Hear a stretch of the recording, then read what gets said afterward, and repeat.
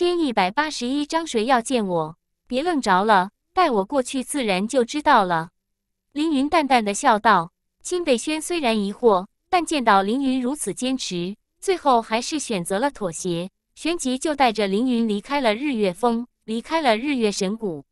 不过在离开之前，他还去了一趟外谷，并且找到了傲风元岭。他自然不是要带傲风元岭一起离开，而是将自己庭院的进出钥匙扔给了傲风元领，让傲风元领去自己的庭院修炼。一般来说，外谷弟子是不可以随意踏入内谷弟子所在的区域的。可有着凌云这把庭院的钥匙。傲风元领自然就可以进入内谷，但只能够待在凌云的庭院之中，不可以擅自前往其余地方。但这对傲风元领来说已经非常受益了。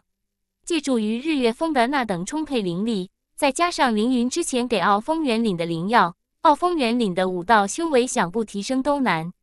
甚至在不久之后，傲风元领都甚至有自信可以去参加内谷弟子的考核了。而且还有望能够一举考核成功，那样一来，他也将是一名不折不扣的内谷弟子。接下来的两日时间，凌云就在辛贝轩的带领下不断赶路。一路之上，凌云并未修炼其余手段，而是利用静魔九诀开始不断吸收炼化之前在坠魔渊下所找到的那具神魔遗骸。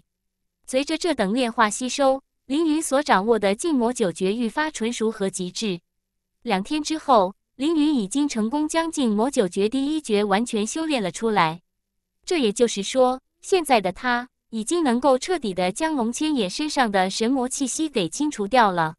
只是不知道龙千野现在的状态到底如何，他体内的神魔气息有没有爆发到不可收拾的地步？等新贝轩这边的事情都处理好后，凌云就会抽空去找一找龙千野，帮他清除掉神魔气息。让其没有后顾之忧再说。凌云，再往前就是天荡山，凤舞道场就在里面。如今我们新氏一族的人和那孟氏一族的人都驻扎在了凤舞道场外，等待着决斗的开始。新哲哥和新霞姐也全都已经过来了。这一次，新哲哥将代表我们新氏一族去跟孟氏一族那名三十三岁的天才孟子白。不过，新哲哥只有真武境七重后期的修为。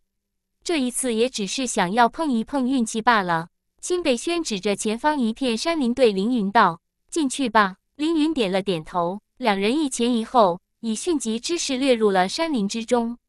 很快，辛北轩就将凌云带到了一片空地之上。这片空地上，此时已经驻扎了好几个帐篷，其中也有着不少人影在走动。而在这群人影中，凌云很快就见到了两道稍显熟悉的身影。正是辛哲和辛霞，辛霞和辛哲见到辛北轩和凌云，便是迎了上来。凌云，你在玄院大会上的事迹，我们可全都知道了。你小子可真是一个怪物，竟然连比你高了好几个等级的人都能够战胜。青霞冲着凌云挤出了一抹笑容，但看得出来，他和辛哲的情绪都不怎么高。凌云却直截了当地看向辛哲，辛哲师兄。我听说你要代表你们新氏一族跟孟氏一族的一个天才比斗，而且好像没有任何赢的把握。听见凌云这么询问，辛哲面色微微难看，但凌云却继续道：“既然没有把握，那我就建议你不如直接认输好了。”辛北轩和新霞在一旁听得一阵无语，这凌云也太不给辛哲面子了吧？身为一名武者，哪怕就算是战输。也绝对不会在战都还未战就选择认输，如此一来，岂不让人贻笑大方，更丢了新氏一族的脸面？凌云，你就这么看不起我吗？辛哲面色微微一寒，凌云却摇了摇头。辛哲师兄说笑了，论实力，你可比我强多了，我又岂会看不起你？只是你还未战斗，就已经失去了自信，这场战斗本就已经失去了意义。既然没有意义，那你又何必折腾自己？不如正视自己，趁早认输。身为龙武帝宗，前世的凌云最不喜欢的就是看到自己的弟子丢掉自信心，更不喜欢在毫无自信的情况下，还为了所谓的面子硬要去找罪受。要么你就自信满满，堂堂正正地跟人一战，输了也输得其所。一名武者若是连最基本的自信都没有，以后的路注定走不长久。要么你就直接认输，认清自己，以后继续努力，一了百了。这辛哲被凌云说的哑口无言。之前他以自己明知山有虎，偏向虎山行的勇气而感到骄傲，但这一刻他却觉得一切真的突然之间毫无意义了。自己从一开始就缺失了斗志，此战只为了所谓的脸面，确实有些可笑。凌云，我不会认输的。明日的战斗，无论怎样，我都会竭尽全力，力争取胜。辛哲重拾斗志，自信不少。这让一旁的新霞和辛贝轩更是无语凝噎。这两个人到底在说些什么屁话？听见辛哲的话，凌云微微一笑。这辛哲倒是有点慧根。于是凌云没有再说下去，而是转而道：“辛哲师兄，不知道这一次你们新氏一族来这天荡山的人是由谁统领？可否带我去见一见他？”凌云，这一次带领我们族人来天荡山的是我父亲。辛哲一脸疑惑。他不知道凌云要见他父亲干什么？谁要见我？就在这时，一个帐篷之中走出一名六十岁左右的男子，其脑袋上已经有着不少白发，但整个人走起路来虎虎生威。凌云，这就是辛哲哥的父亲辛盛，也是我们辛氏一族最为德高望重的长老。辛北轩小声的在凌云耳边说道。凌云闻言点了点头，随即冲着那男子拱了拱手。略显客气地道：“小子凌云，见过新长老。”凌云，金盛眉头微微一皱，但随即就是一阵吃惊：“你就是今年九州大比第一，最近在九州风头正盛，被人称之为云帝的那个绝世天才。没想到如此年纪轻轻，果然是英雄出少年啊！”第一千一百八十二章，这跟抢劫有什么区别？金盛的话让凌云微微吃惊。没想到自己的名声已经在九州这么响亮了吗？正所谓树大招风，凌云也不知道这对自己来说是一个坏消息还是好消息。但有一点可以肯定的是，这有利于增长自己的气运。一旦气运增长上去了，自己以后要想中归神界的时候，就越是容易打破两界之间的界面壁垒。新长老，你高抬小子了。凌云谦逊地道：“哈哈，凌云小兄弟。”不知道你刚刚说要找我所为何事？金盛笑道：“以凌云的天赋，绝对是日月神谷最为重点的培养对象。以后一旦成长起来，必定是人中龙凤。所以现在新生对凌云客气几分，毫不意外。即使称呼凌云为凌云小兄弟，新北轩三人都没有感到意外。毕竟对待日月神谷等四大超级宗门的弟子，家族其余人本就向来如此。”新长老，你德高望重，想必也不喜欢拐弯抹角。既然如此，那我就有话直说了，可否将你们另外两名明日要跟孟氏一族进行比斗的族人叫出来？凌云开门见山地道，这让新盛和新贝轩等人都是一脸狐疑。这凌云想要干什么？凌云小兄弟，不知道你此举意欲何为？新盛好奇问道。凌云则是斩钉截铁地回答道：“新长老。”我的想法很简单，帮你们赢下明日的比斗。嗯，金盛等人就更是眉头紧锁了。明日的比斗，新氏一族必败无疑。凌云却说能要帮他们赢下明日的比斗，怎么赢？众人都顿觉云里雾里。凌云，你真有办法赢下明日的比对？可明日三场比斗，我们新氏一族根本毫无获胜的把握。而如今距离比斗时间又这么短。你能够有什么办法可以？新贝轩完全搞不懂凌云的意思。等新长老将另外两人叫出来，我自然会将办法告诉大家。凌云十分果断地道。金盛稍稍犹豫，最后就立即让人去将另外两名族人给叫了出来。凌云扫了一眼这两名青年，一名二十九左右的样子，修为在真武境七重中期；而另一名青年则是二十三四岁的样子。修为在真武境六重中期的样子，凌云，这是新莲，将代表我们新氏一族去战斗孟氏一族一个二十八岁，叫做孟长空的青年。青年就在不久前已经突破到了真武境七重中期，而孟氏一族的孟长空却只是一名真武境七重初期武者，所以新莲的胜算将会非常大。青哲指着那名年纪大一点青年向凌云介绍道，随后。他又指着另一名青年继续道：“他叫新红，是目前我们新氏一族二十五岁以下最杰出的弟子，修为是真武境六重中期。他将要战斗的是孟氏一族的另一名天才孟武。那孟武年龄虽然跟他相反，但却已经是一名真武境七重中期武者，修为跟新莲相当。所以新红胜算很小。这两人再加上同样胜算很小的辛哲，这一场比斗。”新氏一族确实必败无疑，所以在辛哲介绍完，新氏一族的人一个个都是垂头丧气，颇有一点军心萎靡的样子。凌云，你有什么办法？不妨就直说吧。清北轩在一旁着急地问道。以他对凌云的了解，凌云若是真没有办法，凌云不可能会弄出这么多事来。其余人也都是一脸期待地望着凌云。凌云淡淡一笑，办法很简单。我代替新红去跟孟氏一族那个叫做孟武的人一战。嗯，所有人怔了怔，这是什么意思？他代替新红去跟孟武一战，就能够帮助新氏一族赢下明日的比斗？他的意思是说，他明日一定能够赢下孟武？开什么玩笑？那孟武可是真武境七重中期武者，虽然才刚刚突破七重中期没多久，但是武道修为摆在那里，岂是随便人就可以战胜他的？这小子就是大名鼎鼎的凌云。虽然我听说他天赋异禀，但没想到竟然如此不自量力。以他的修为，怎可能是孟武的对手？他身上的气息最多也就是真武境武重的气息，若是论战斗力，估计给孟武提鞋的资格都没有。他输了，对自己又没有什么影响，但对我们新氏一族来说却影响颇大。让新红出手，至少还尚有一丝希望；但让他出手，那无异于就是将凤舞神藤拱手让给孟氏一族，新氏一族其余人都是围观了过来，听见凌云的话话，都是对凌云嗤之以鼻。就连新贝轩和新哲等知道凌云实力的人，也都并不认为凌云是孟武的对手。毕竟孟武可不是之前凌云所遇到的叶擎天，在九尊门，孟武是最为重点培育的弟子，战斗力比叶擎天的实力还要强了不少。凌云小友，这是我们新氏一族的事情，就不劳烦你出手了。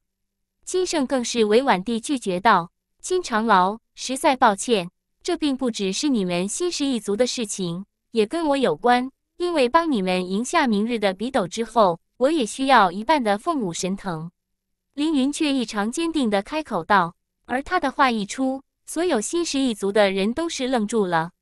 随即，一个个人的表情都是立即阴沉了下来。一半的凤舞神藤，这跟抢劫有什么区别？哪怕是新胜的面色也彻底凝重了下来。这时候，一名四十岁左右的中年男子陡然之间跳了出来，其身上的武道气息可以说明他是一名真武境七重中期武者。这中年男子身形跟新红十分相像，一站出来便是冷冷地对凌云吼道：“小子！”我们新氏一族的事情还不需要你来插手，我劝你最好不要多管闲事。一半的凤舞神藤，你怎么不直接来抢？哈哈，抢那也要你们新氏一族有啊！没有我的出手，你们以为自己有机会拿到凤舞神藤？若是我能够帮你获胜，夺得凤舞神藤，那留给你们的一半都算是我大方了。凌云淡淡一笑，一副信誓旦旦的样子。第一千一百八十三章，你以为你是我的对手？凌云的话更让新氏一族的人气不过了。这算什么？鄙夷他们新氏一族的所有人！饺子，你少在这里装腔作势！你认为以你的能力可以赢过孟氏一族的孟武不成？那名中年男子气差不已，一看就是一个脾气较为火爆之人。凌云并不想跟他一般见识，而是直接看向新胜新长老。我若是没有把握，也就不会跟你提。若是你们新氏一族没有其余人来参加比斗，那么就只有我出手，才能够让你们获胜。虽然话有点狂，但理就是这么一个理。在凌云说完之后，现场的气氛一下子就变得十分诡异了起来。这让辛贝轩、辛哲和辛霞三人面色也都不怎么好。辛哲怕气氛变得更僵，则是迅即走到凌云身边。在凌云耳边轻声道：“凌云，实不相瞒，其实这一次我们新氏一族之所以还会来此搏一搏，是因为我们还有另一套方案。嗯，凌云眉头一皱，什么方案？这心哲有几分迟疑，那闪烁的目光似乎是在说明他正在思考要不要信任凌云。但想到凌云之前在忘忧谷中不顾自己安危地救了辛贝轩一次，他还是选择相信了凌云，便是对凌云道：“另一个方案就是，我们新氏一族中有一名精通易容之术的人，所以我们家族打算冒险一试，让一名真武境七重中期武者易容成猩红的样子。”去跟孟武一战，如此一来，虽然很有可能会暴露，但如若不暴露，我们新氏一族至少也有半分之五十获胜的概率。这个方案就算是新氏一族的其余人都不知道，哪怕是新贝轩也不知道。你说的那个代替新红的人，该不会就是这位大叔吧？凌云看向刚刚那名脾气较为火爆的男子，轻者点了点头，不错，就是他，新莫叔。他的身形跟猩红很像，让他易容成猩红的样子，应该没那么容易暴露。但凌云却摇了摇头，嘴里冒出四个字：“此人不行。”并不是凌云胡言乱语，而是事实就是如此。这星墨确实不行。先不说他的战斗力是否盖过了孟武，光是他这不知收敛、颇为火爆的脾气，就不适合干这样的事情。让他易容去代替新红进行比斗。那百分之九十九会暴露身份，更何况孟氏一族的人绝对不是傻子，其中也一定有着一些实力强劲之人带队而来。就算是易容术再怎么高明，被发现的概率也不小。所以不单单是心墨不行，这个方案都完全不可行。凌云没有刻意压低声音，他所说的话自然也就落到了心墨的耳中，顿时间更让那心墨怒上心头。小子！莫非你认为我还不是你的对手了？清墨冷冽喝道。点。莫非你以为你是我的对手？凌云淡漠一笑，毫无所惧。若不是之前答应了辛贝轩，若不是为了那凤舞神藤，他堂堂一代龙武大帝会主动来帮这小小的新氏一族的忙？就算这新氏一族哭着喊着求他，他都未必会多看一眼。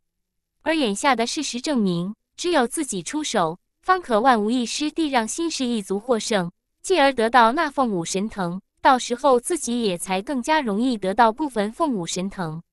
哈哈，竟然如此大言不惭！我知道你天赋异禀，我也知道你在其余道路之上也有所建树，但是你别忘了，战斗从来不是看一个人的天赋，看的是拳头的硬度。拳头不够硬，你天赋再强又有何用？清墨声音愈发冰冷。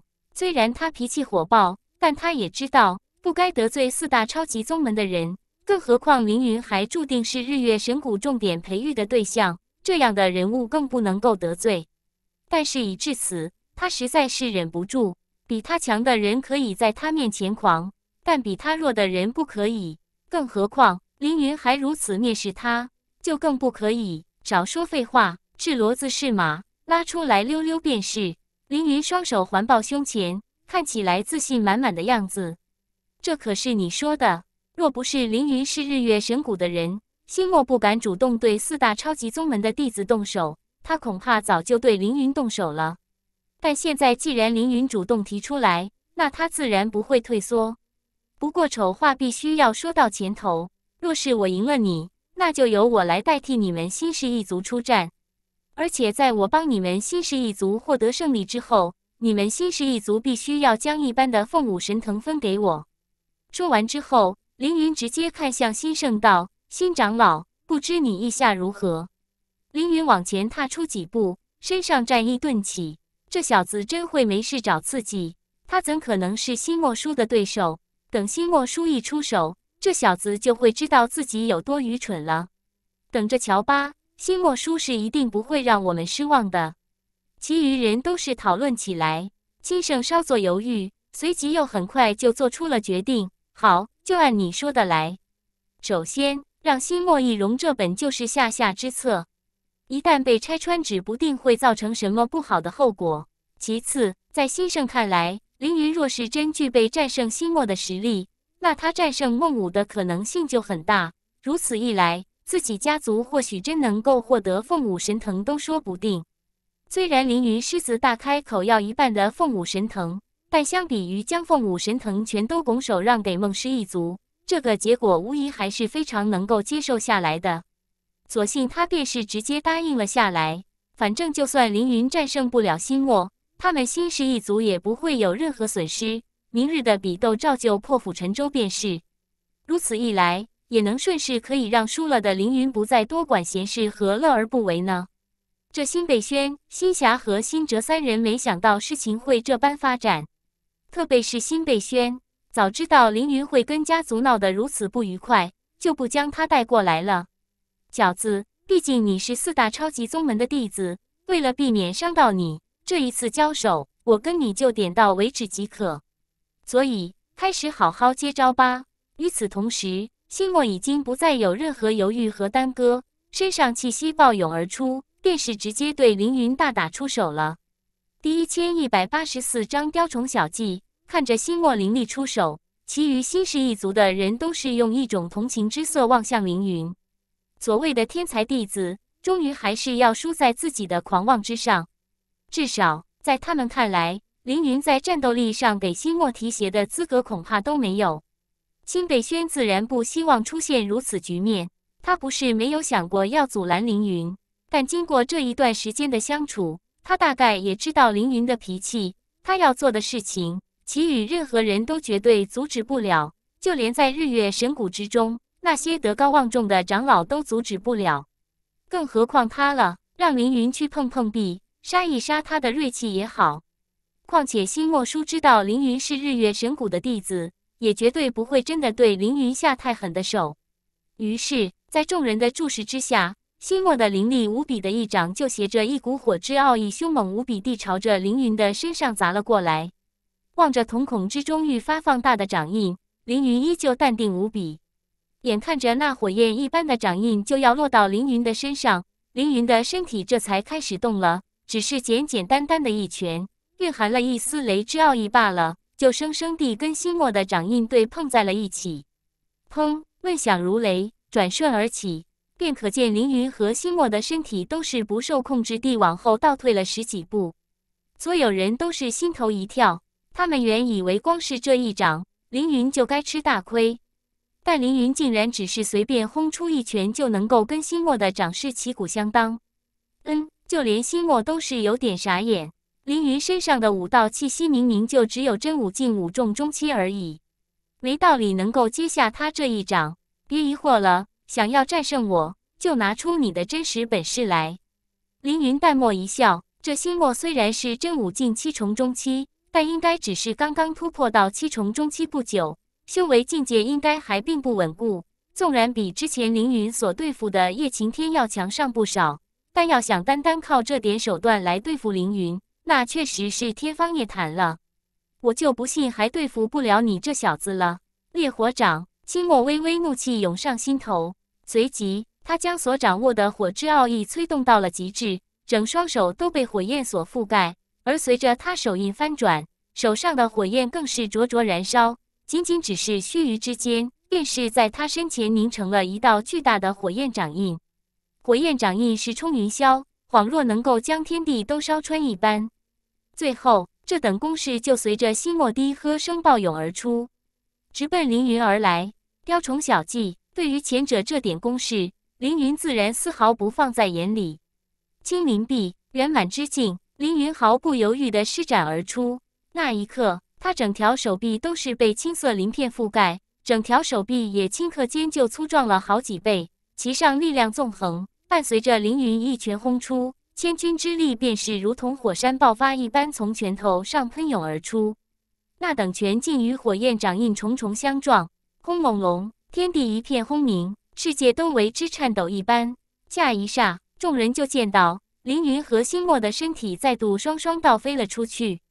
但这一次，凌云只是倒飞出去十几米，但心墨却足足倒飞出去了三四十米，差距已经开始出现了。但所有人见到这一幕，都是不由得倒吸了一口凉气。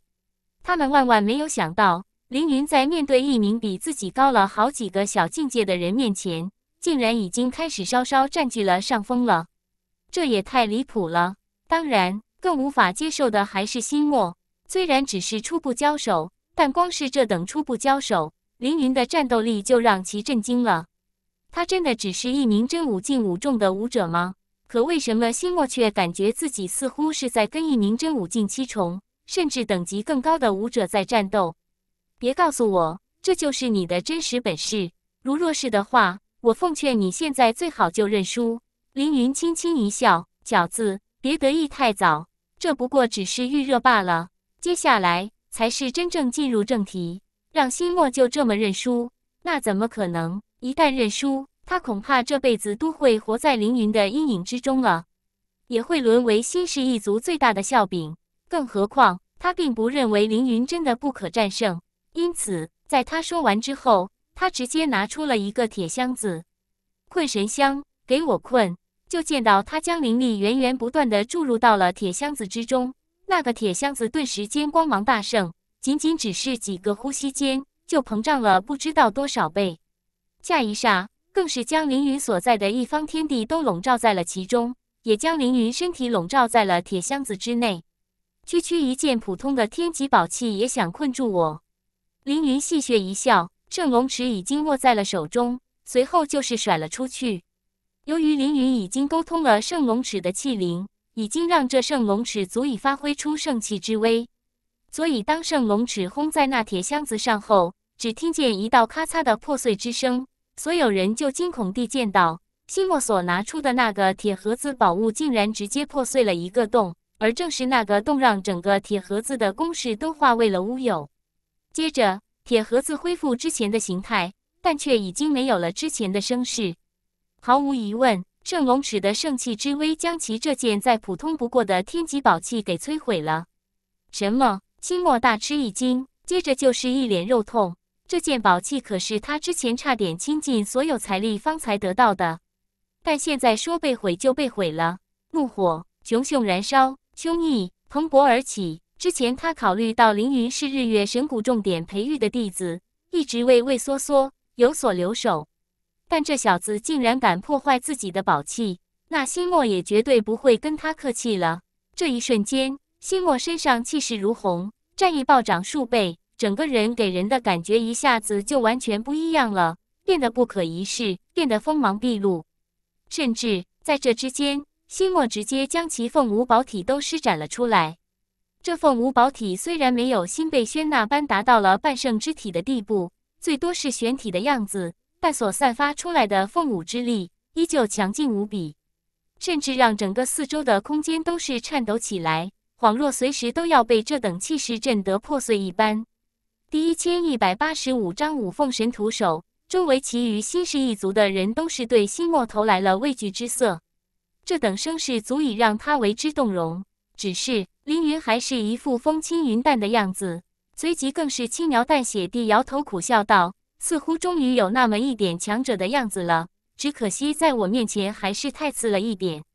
周围众人都是愣住了，这小子要不要这么狂？清末都将凤舞玄体施展出来了，他竟然还那般蔑视清墨，这么托大吗？小子，看你接下来如何接得住我的招数！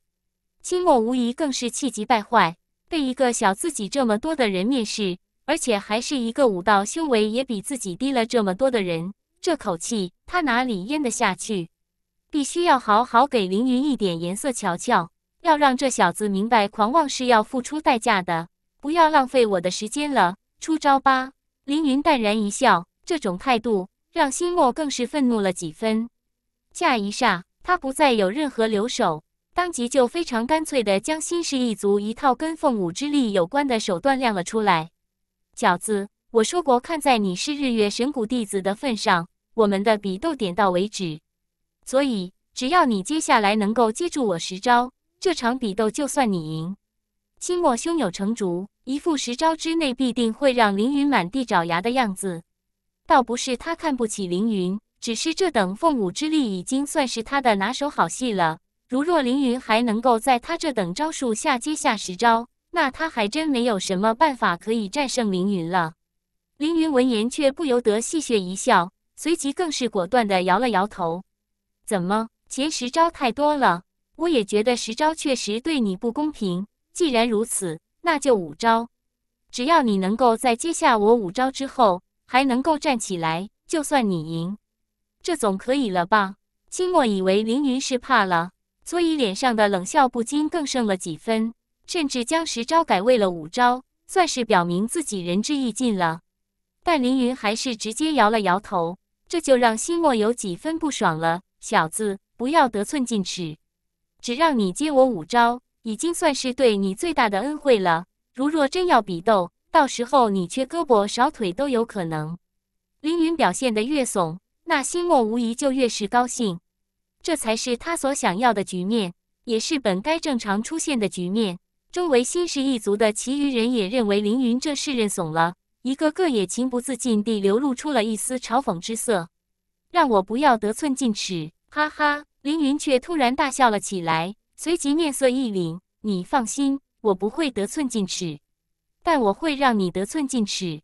十招，五招，这太浪费时间了。我给一次机会，只要你能够接住我三招，我就算你赢。”什么？现场一片惊疑之声，所有人都有点不敢相信自己的耳朵。凌云本可以只需要接住心墨五招就能够获胜，可他却偏偏不同意，如今反而要让心墨接住他三招就算后者赢，这是脑袋被门给夹了，还是被驴给踢了？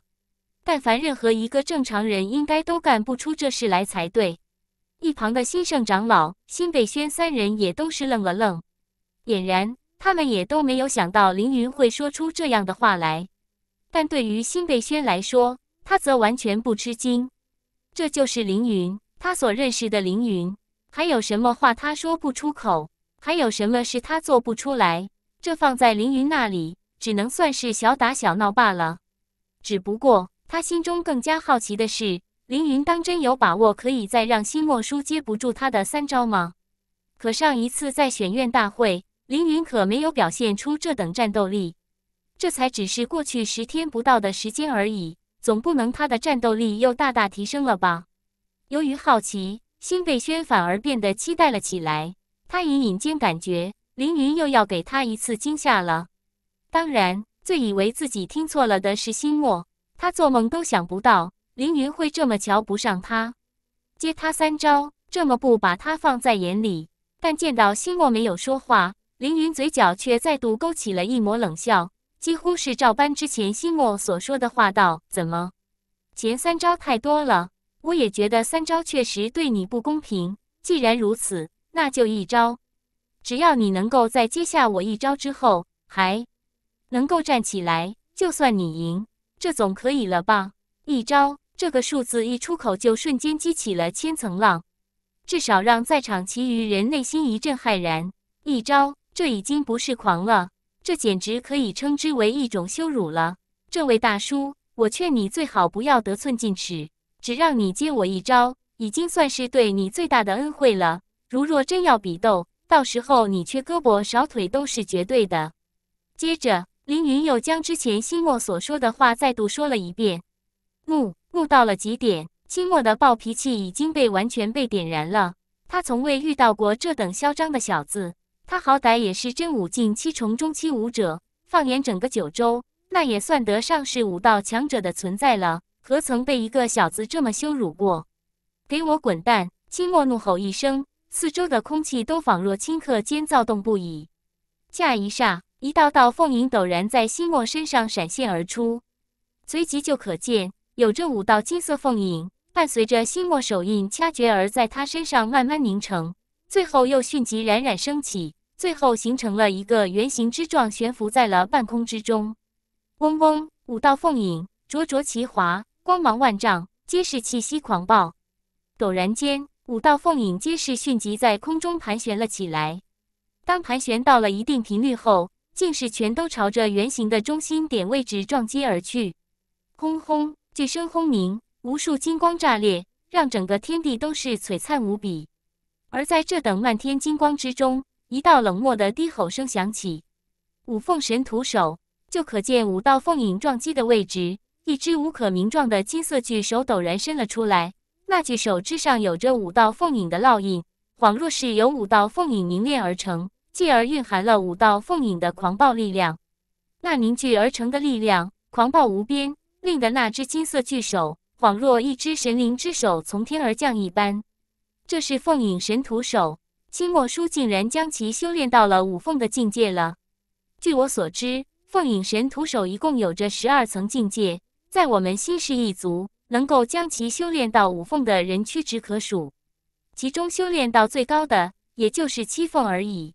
只要我们新氏一族能够得到这凤舞神藤，那么以后绝对会有人修炼到更高层次。这凤影神徒手也算是我们新氏一族的祖传武学了，真不知道将其修炼到十二凤的时候会是何等的强大。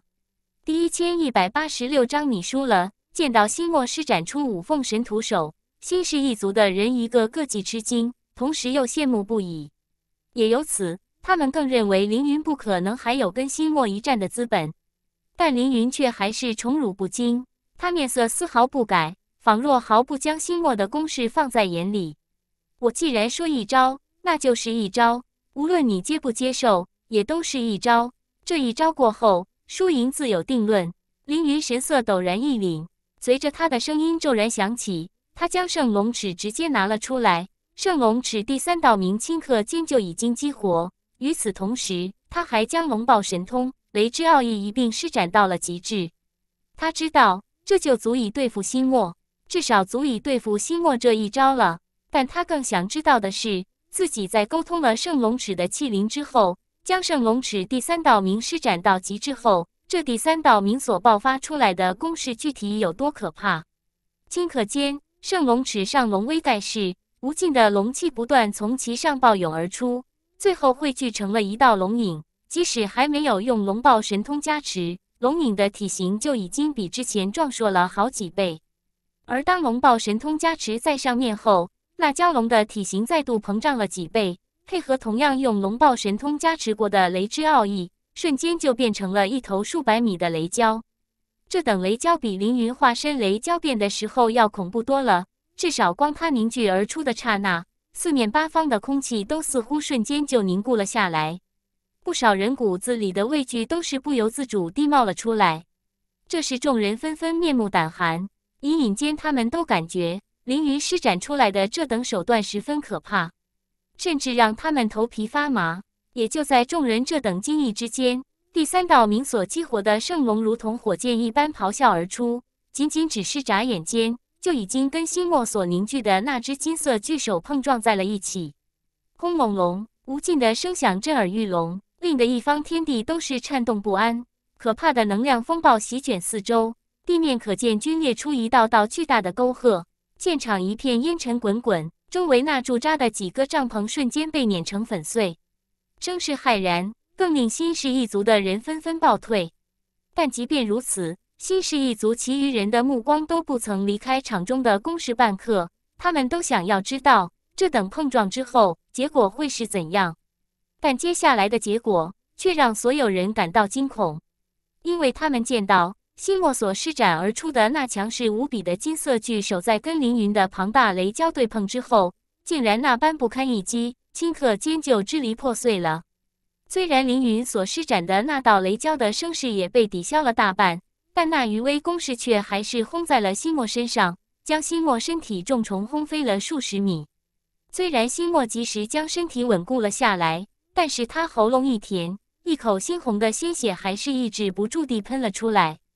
他受伤了。反观凌云，在烟尘褪去之后，身体笔挺地立在那里，一世独立一般傲视全场，没有受伤，甚至连面容都没有因此耗费了灵力而变得憔悴。还是那般神采奕奕，那般不可一世。这现场一片死寂，所有人都是惊愕的说不出话来。这个结果，他们从未想过。清末输了，输在了一个二十岁左右的青年手中，输在了一个比自己低了好几个等级的武者手中。但没有人觉得新墨输得冤。凌云太诡异了，甚至新盛和新氏一族其余人见到凌云此刻一脸轻松的表情，都不由得认为。凌云还有底牌，一旦他将那底牌亮出来，清墨绝对都会有性命之忧。这这不可能！清墨满脸的不甘心，他将五凤神徒手都施展出来了，他没理由会输才对。清墨，你确实输了，所以明日我新氏一族和孟氏一族的比斗，就劳烦凌云小兄弟出手了。金盛从震惊之中回过神来，这一次对待凌云的态度已经完全不一样了，不仅仅只是客气，甚至还有一丝恭敬之色。若说之前他只是道听途说，以为凌云是天之骄子的话，那现在他就是亲眼所见了。这等人物以后成长起来，那能是一般人吗？现在不跟其打好关系。等以后他一飞冲天了，再想跟他说上话，恐怕都几乎不可能了。长老，他并不是我新氏一族的人，根本就没有资格代替我新氏一族出手。更何况，明日的比斗要在凤舞道场之中进行，只有拥有凤舞血脉和凤舞宝体，以及修炼了凤舞诀的人才可踏入其中，他根本就进不去。清墨不服气地道：“家族已经承诺。”如若新墨能够代替新红出手，若是赢下了明日的比斗，那家族就会让新墨成为长老，并且得到率先炼化吸收一部分凤舞神藤。这等承诺对新墨来说太重要了。新墨，够了，你已经输了，输了就要愿赌服输。至于你说凌云不是我新氏一族的人，这有何难？从今日起，凌云就是我新氏一族的供奉，算我新氏一族的人便可。如此一来，还没有了你易容冒充新红被拆穿的风险。不过，你所说的明日要进入凤舞道场比斗道，确实是一大问题。凌云小兄弟进不去的话，那看来我只能立即赶往孟氏一族的驻地，跟他们商量一下，在凤舞道场外进行比斗。希望他们能够答应下来。金圣道让新墨参加明日比斗，这是铤而走险之举，成功率实在是太低了。因为不但有身份暴露的风险，而且以新墨的实力，也很大可能不是孟氏一族那个叫做孟武的对手。但凌云实力比新胜强，而且凌云的年纪就在二十五岁以下，合乎要求，让凌云代替新氏一族出手，可谓是更加万无一失。换做任何一个人来选择，恐怕都会选择凌云。金长老，不用去商量了，我并不介意明日的比斗在凤舞道场之中进行。因为你们所说的凤舞诀，我其实早就已经掌握了。凌云轻轻一笑，随即身体一震，一股并不弱的凤舞气息蔓延开来。众人一怔，随即一个个都是看向辛哲、辛霞和辛贝轩三人。金氏一族的凤舞诀向来概不外传，凌云竟然掌握了凤舞诀，毫无疑问正是辛哲三人传给凌云的。不过如此也正好不用担心凌云无法踏入凤舞道场了。而辛哲三人见到新氏一族众人的目光，除了苦笑，就只有继续苦笑。第一千一百八十七章孟氏一族。这一夜，凌云就在新氏一族的驻地休息。由于凌云展现出了异于常人的天赋，新氏一族的人都是对凌云敬畏和客气有加。特别是辛哲的父亲辛盛，将凌云当作贵宾对待，那等热情甚至让凌云都有点不适应。毕竟。凌云现在在日月神谷也仅仅只是内谷弟子而已，而新哲已经是核心弟子了。直到夜深，凌云盘坐在驻地一个角落，方才落得少有的清静。一夜无风。凌云之前在自己的庭院之中已经修炼了好些天，之后又连着赶路了两天，所以这一夜他没有再继续修炼，而是放松心态，好生休息，养精蓄锐，迎接明日的比斗。时间匆匆。岁月如梭，一夜时间转瞬即逝。时间差不多了，我们进入凤舞道场吧。新盛对所有人道。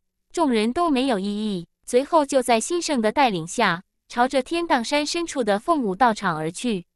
不得不说，这凤舞道场的位置十分刁钻，是在一个盆地之中。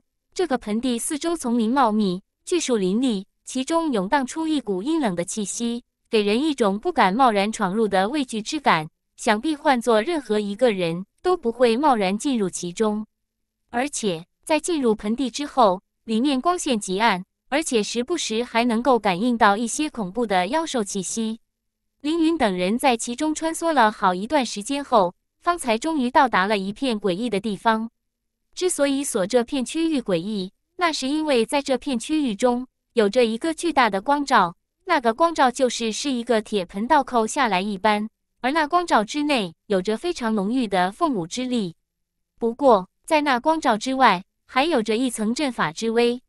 这阵法并非是天然形成，而是后天布置上去的。凌云，那就是凤舞道场，而我们想要得到的凤舞神藤，就在这凤舞道场之中。如今，这凤舞道场周围已经被我们新氏一族和孟氏一族联手布下了阵法，只有我们两家一起联手，才能够开启阵法，进入其中。辛哲向凌云介绍道。在新哲说完之后，又有数道破风声响起，全集众人便是可见，不少身影从周围丛林之中掠出。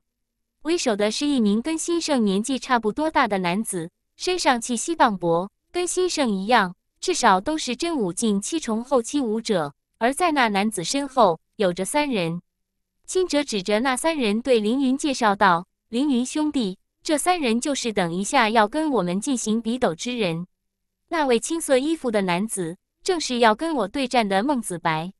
而在孟子白身边的蓝色衣服青年，叫做孟长空，将会对战我们新氏一族的新莲。至于最后那个年纪最小的红衣服青年，”就是你要对战的孟武。随着辛哲的介绍，凌云的目光主要落到了那孟武身上。此人背负一把战戟，身形魁梧，眉宇之间有着一丝暴力。不用说，此人应该修炼了一种极为凶厉的手段，而且此人身上的真武境七重中期气息极为浓郁，这代表着他的真武境七重中期的境界要比之前凌云面对的心墨要稳固多了。看来果然是一个棘手的对手。金圣，没想到你们新氏一族的人明知道会输给我孟氏一族，却还是如此积极。看来你们新氏一族的心态还是不错的。孟氏一族那名带队的男子冷冷笑道：“孟无常，少说废话！今日的比斗还未开始，你怎么知道我们新氏一族一定会输给你们孟氏一族？金圣自然不会给孟氏一族的人好脸色看。有了凌云在。”他们底气比之前还要足多了，至少之前他们有百分之七八十会失败，但现在变成了五五开，哈哈！我真不知道你们新氏一族哪来的自信。不过既然你们那么着急想要看一看自己惨败的下场，那我们孟氏一族就成全你们。别傻站着了，跟我一起开启凤舞道场外的阵法吧。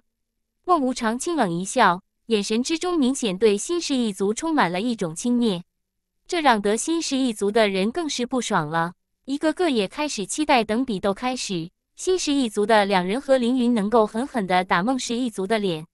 金圣没有再跟孟无常多费口舌，而是将自己的武道气息毫无保留地释放出来，然后手印翻转，形成一个个印法，不断地轰在了那凤舞道场外的阵法之上。孟无常冷冷瞥了一眼新胜，随即也迅即动手，同样是手印翻转，然后将自己的印法轰击在了那等阵法之上。随着两人动手，整个阵法开始剧烈颤抖，但一丝丝阵法之威却开始不断消弭了下去，最后化为乌有。金氏一族的人施展凤舞诀，跟我一起进去吧。金胜对辛哲和凌云等人道：“之所以要他们施展凤舞诀。”是因为并非所有新氏一族的人都觉醒了凤舞宝体，所以还是得需要利用凤舞诀来抵御凤舞道场之中的凤舞之力。孟氏一族的人同样施展凤舞诀，也跟我一起进去吧。孟无常同样下发命令，于是两方人马都是争先恐后地踏入了凤舞道场之中。凌云，我们也进去吧。金北轩催促了一下凌云，凌云点了点头。立即将凤舞诀亮了出来，就随着新氏一族的人进入了凤舞道场之中。一踏入凤舞道场，凌云顿觉自己身上热浪滚滚。那等炙热，并不是被火烧一般的炙热，而是一种不可名状的另类炙热，还给人一种别样的火辣辣的感觉。若非有着凤舞诀抵挡，凌云敢肯定自己现在绝对会苦不堪言。凌云大概知道。这等凤舞之力，应该就跟之前他所掌握的阴煞之力一般，应该也属于天地气息的一种。之前他所掌握的天机分身，需要阴煞之力才能够开启，而这新氏一族的凤影神徒手也是需要凤舞之力才能够施展，这应该就是同样的道理。第一千一百八十八章第一场比斗败。不过，凌云施展凤舞诀所产生的凤舞之力，并不能够供自己使用。只有像辛墨和辛贝轩这等拥有凤舞宝体的人，应该才能够真正运用凤舞之力。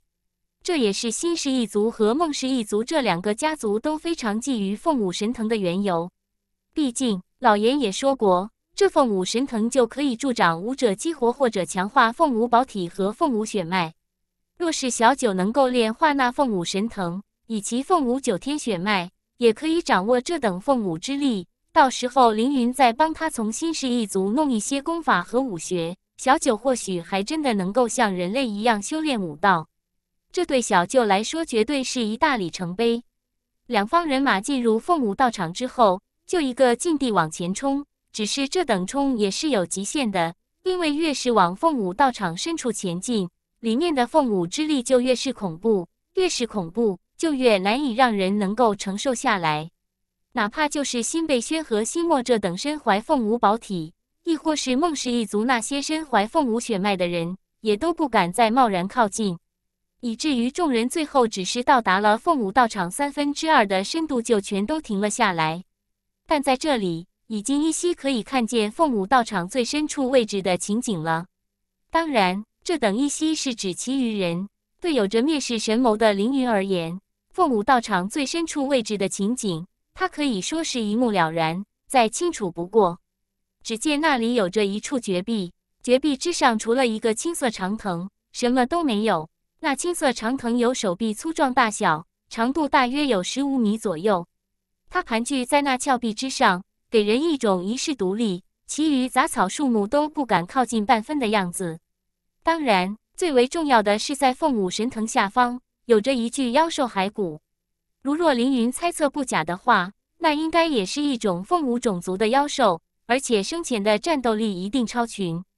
因为那妖兽骸骨上所散发出来的那股凤舞之力是凌云所见过最为浓郁的存在，已经浓郁到了极致，甚至凌云都有理由怀疑，那凤舞神藤之所以会生长而出，就是由于那骸骨上的凤舞之力太过于浓郁，继而滋养孕育而成。那等浓郁程度的凤舞之力，哪怕就是凌云这等肉身十分强大之人，若是胆敢靠近，恐怕都不是受伤那么简单了。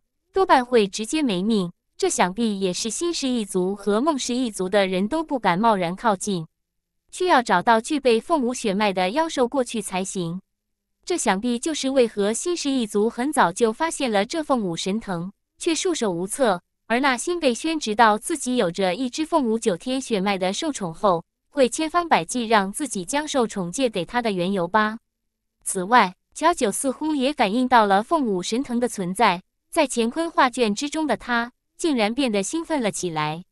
当然，凌云其实现在就可以让小九直接往深处飞过去，去取那凤舞神藤。但那样一来，自己无疑就成为了新氏一族和孟氏一族两大家族的仇敌了。到时候只会将自己陷于危难之中。反正现在新氏一族已经答应自己的要求，等得手后将凤舞神藤分自己一半。所以自己完全没有必要铤而走险去做这等吃力不讨好的事情，直接开始吧。孟氏一族的人应该是隐隐间已经看见了凤舞神藤，一个个眼中都流露出了贪婪之色。那孟无常也毫不耽搁时间，直接道：“在他说完，孟氏一族那名三十三岁的天才孟子白就站了出来，撇嘴冷冷喝道：‘你们新氏一族派哪个废物出来跟我一战？直接站出来受死吧！’”言语之间那种不可一世的态度，将其骄横的一面毫无保留地展现了出来。金盛看了一眼辛哲，辛哲深呼吸了一口气，随即心底猛地一沉，纵身一跃，便是掠了出去，跟孟子白对峙在了一起。就凭你也妄想跟我斗，找死不成？孟子白清冷一喝，完全没有将辛哲放在眼里，要战便战，哪来那么多屁话？但辛哲却毫不耽搁。直接将自己的强招施展而出，雄浑的灵力波动从他体内爆发而出，一根铁链就被他直接甩了出来。那条铁链宛若蟒蛇一般，携着道道狂风，快若闪电地抽向孟子白。不自量力，孟子白嘴角冷冷一撇，一掌直接探出，竟是生生的将那等铁链抓在了手中，同时将那铁链上的攻势全都卸掉。辛哲并未就此放弃。强猛的攻势继续毫不留情的轰出，然后就跟孟子白激战在了一起。只是他和孟子白之间的实力差距还是太明显了。毕竟辛哲是真武境七重后期武者，而这孟子白却已经是一名真武境八重初期武者。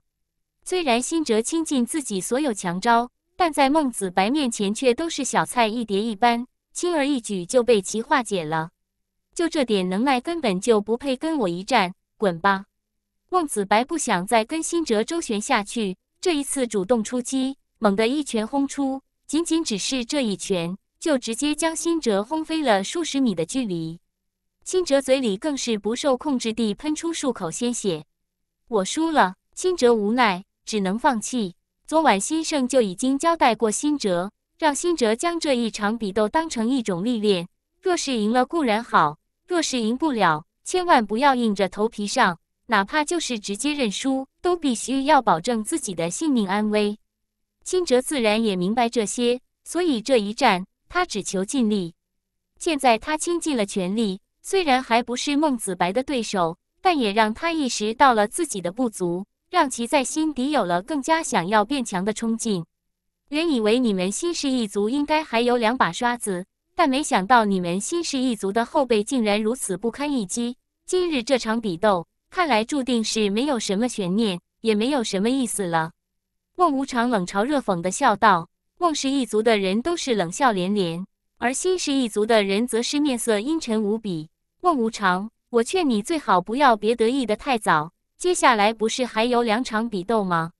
咱们走着瞧。金莲，这一场比斗该你上场吧，记住，不要有任何留手，务必要将这一场比斗拿下来。”金胜并未因为辛哲的失败而气馁，在新氏一族的预计之中。第一场比斗本来就是要输的，关键是第二场比斗，如若新年能够赢下来，那么他们新氏一族就还有不小的机会最后获胜；如若新年也输了，那他们新氏一族可就真的彻底败了。第一千一百八十九章谁输谁赢？孟长空，上来跟我一战吧！青莲缓步走上前，目光看向孟氏一族中的那名蓝衣青年，被新莲点名道姓。孟长空脸上却露出一抹轻描淡写的笑容，随即同样缓步走了出来，傲然挺立地站定在了新莲面前。青莲，你以为我不是你的对手？孟长空淡淡一笑，难道不是吗？青莲反问道。根据之前得到的消息，这孟长空是一名真武境七重初期武者，而新莲已经是一名真武境七重中期武者，所以无论怎么看，新莲的胜算都要大很多。嘿嘿。你也太自以为是了！孟长空嗤笑一声，随即他体内的武道气息就如同潮水一般倾涌而出。那股气息绝不是真武境七重初期武者的气息，而是真武境七重中期武者的气息。他竟然也是一名真武境七重中期武者！新氏一族的人都是愣住了，而孟氏一族的人则传出一阵冷笑声。很显然。是孟氏一族的人，定是知道新氏一族的人会打听他们派出来比斗的人是谁，所以就趁机故意放出了假消息。金胜是不是觉得很惊喜、很意外？你们新氏一族的人不但实力一般，连智商也低得离谱。孟无常阴恻恻地笑着，这让新氏一族的人更是心冷了，就连凌云都捏了一把汗。青莲一旦输了，那他可就连出场的机会都没有了。到时候凤舞神藤落入孟氏一族的人手中，凌云可就没那么容易弄到手了。哪怕心莲此刻面色也低沉了几分。心莲，你现在还觉得你一定能够赢我吗？孟长空虽然笑道，但心莲却并未因此而畏惧，相反讥笑一声：“孟长空，就算你也是真武境七重中期武者又如何？还不是跟我同等境界？至于是输是赢？”那就要看看是你的拳头硬，还是我的拳头更硬了。霎时间，心莲便是出手了，一拳轰出，破风阵阵。哼，那就比比看。孟长空冷哼一声，同样一拳轰了出去。两拳相撞，令得空气一阵爆鸣，就可见心莲和孟长空都是相互被震退数十步。两人旗鼓相当，谁输谁赢，似乎还真不好说。但由于孟氏一族已经获得了一场胜利，所以一个个都显得十分轻松。而新氏一族已经输不起了，自然都十分严肃和担忧。比拼拳头有什么意思？还是让你看一看我的长枪有多锋芒毕露吧。孟长空扬手一翻，一把长枪就已经出现在了他的手中，源源不断的灵力灌输到长枪之上，让长枪爆发出一股强盛的宝气之威。只见孟长空的眼神陡然变得犀利凌厉，随着他手中一抖，无数道枪芒凝聚而成，然后全都朝着新莲身体的要害部位爆射而去。很不巧，我的兵器也是长枪。那就看看我们两谁的长枪更具威力。青莲手中同样出现一把长枪，长枪横扫而出，如同一条巨蟒，将那些袭向自己要害部位的枪芒尽数抵挡了下来。接下来，两人长枪频频或刺或扫而出，当当轰轰，两柄长枪不断碰撞，激起万千火花，令得周围空间轰鸣阵阵，甚至都开始扭曲了起来。这等比斗与孟子白和辛哲的比斗完全不同。孟子白和辛哲的比斗几乎可以说是一边倒的局势，而孟长空和新莲的比斗可谓是平分秋色。即便交锋激烈，但双方却一度没有分出高低，一时间谁都没有占到对方的便宜。当当，又是一次凶猛的对碰。这一次对碰之后，有着无尽的风暴席卷开来，新莲和孟长空的身体都是落地。而他们紧握长枪的手掌之上，都已经渗透出了丝丝鲜血。孟长空，与其我们两个一直这样毫无结果地比拼下去，不如就直接干脆点，我们各自亮出自己最强一招，谁受伤更重，就算谁输，如何？青莲知道，双方若是就这么战斗下去，恐怕再战几个时辰都未必能够分出胜负，索性就一招定输赢。好，就如你所说。等你输了之后，我希望你可不要后悔。孟长空不以为意地淡漠一笑，只怕会后悔的人是你。五凤神徒手，一道道凤影开始在心莲身上凝聚。这一招，凌云之前跟心墨比拼的时候，同样是真武境七重中期的心墨就施展过。不过心莲此刻施展出这套手段所激起的那等气势，却要比心墨要强不少。霎时间，五道金色凤影。以圆形之状悬浮在了心莲的头顶，嗡嗡，五道凤影，光芒万丈，气息狂暴，声势不凡。一如之前星墨施展这套手段一样，在星莲的催动下，五道凤影皆是迅疾在空中盘旋了起来，最后全都朝着圆形的中心点位置撞击而去。顷刻间，无数金光炸裂开来，漫天璀璨光芒绽放，旋即。一只无与伦比的金色巨手陡然闪现而出，巨手之上力量纵横，那等力量萦绕巨手左右，令得整片空间都是颤动不安。给我灭！随着心莲一声低喝，金色巨手呼啸而出，势如破竹，骇人听闻。孟长空见状，面色陡然一凝，他舌尖一咬，一口精血吐出，顿时间整个身体之上血气沸腾。赫然，他将自己的凤舞血脉直接施展而出，然后血色光芒从孟长空体内冒出，一股强大的威严随之蔓延，令得四周众人都是恍若窒息了一般。所有血色光芒不断在空中凝聚，最后随着孟长空手中舞动的长枪，形成了一道巨大的凤影。孟长空没有多余的动作，只是一步跨出，手中长枪一抖，顿时间。那蕴含着山岳一般可怕力量的凤影就张牙舞爪地撕裂长空，朝着新年的攻势冲了上去。这一刻，漫天空气恍若被抽离了一般，两股攻势掀起道道飓风，最后以绚丽无比的姿态狠狠地撞击在了一起。振聋发聩的巨声传荡八方，强大的冲击波更是席卷开来，仿若要将整个天地都掀翻了一般。所有人的目光都是死死地盯着两道攻势相撞之处，一个个的脸色都是凝重不已。这等碰撞着实惊人，而最终谁输谁赢，就全看接下来的结果如何了。第一千一百九十章，最多就是鄙视你们而已。轰隆隆，碰撞声响天动地，金色巨手和巨大凤影不断相互侵蚀，所有人都是看得头皮发麻。但也就在众人这等注视下。金色巨手和巨大凤影开始相继崩离破碎，最后都是不断化为漫天齑粉，不断消散在了半空之中。随着这种消散，现场众人都是不由得屏住了呼吸，特别是新氏一族的人都几乎要窒息了。赢，一定要赢！新氏一族的人都是心中暗暗祈祷。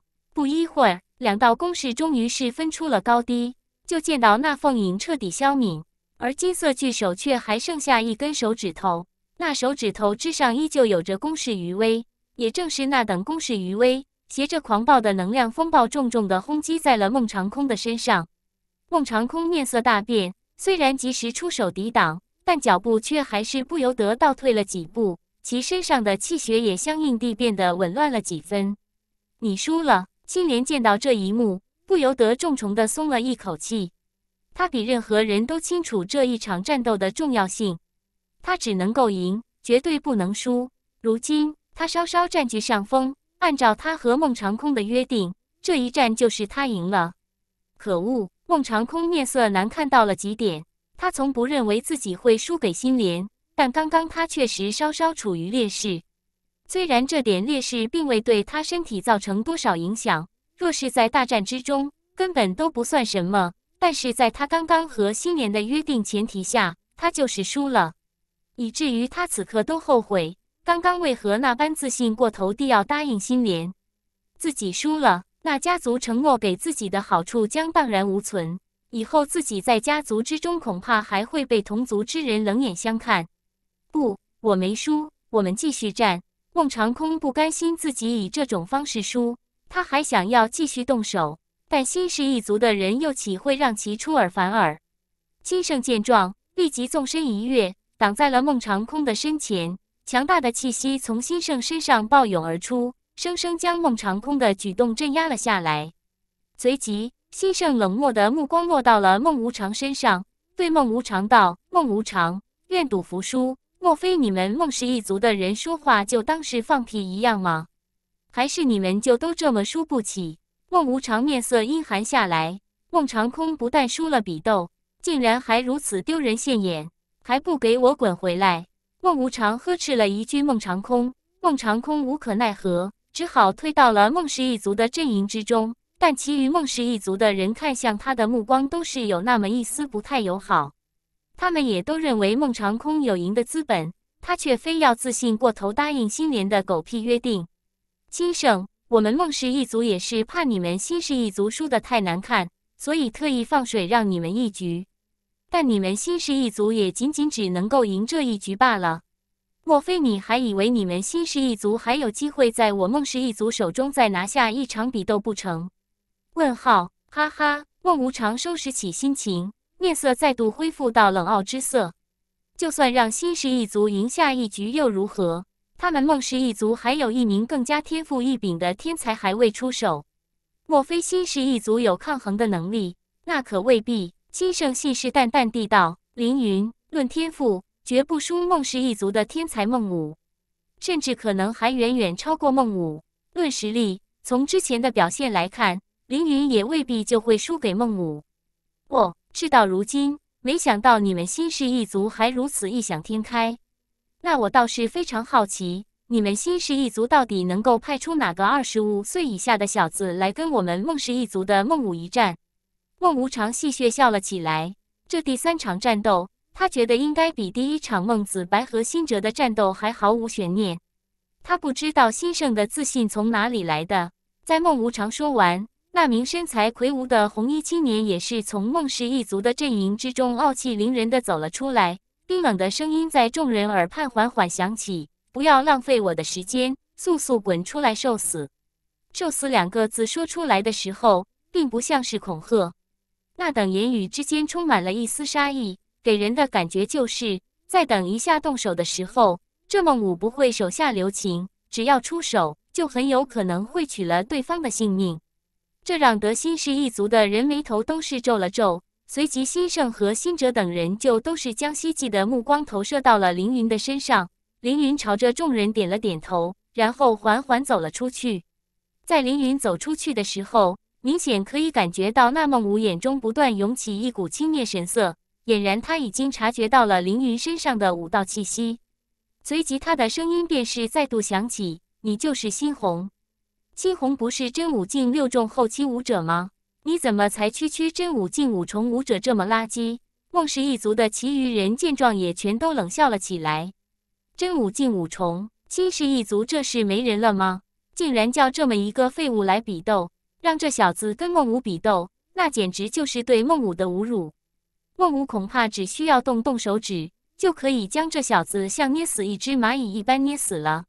就连那孟无常也趁机大笑了起来，哈哈哈！新胜。我原以为你们新氏一族还能有几个不错的后辈，就算没有不错的，至少也有实力凑合的。但没想到你们新氏一族竟然已经没落到了这种地步，真是可悲。听着这些人的话，凌云眉头一挑，面色微微不爽了几分。都叫完了吗？凌云的声音平淡响起，让蒙氏一族的人都是一怔。叫完？当他们是狗吗？不等他们开口。凌云的声音继续响起：“我叫龙武，新氏一族的供奉。这一场战斗将由我代表新氏一族来进行比斗。如若你们怕了，大可以现在就直接认输。你们放心，即便你们认输，我也绝对不会瞧不起你们，最多就是鄙视你们而已。不报自己的真名，是昨晚凌云和新胜一起商量的结果。现在凌云在九州名声不低。”若是报真名，就太引人注目了。凌云得罪过不少人，指不定会招来什么横祸。到时候，万一那些人得知凌云帮过新氏一族，认为凌云跟新氏一族关系不一般，然后对新氏一族下手，那可就遭殃了。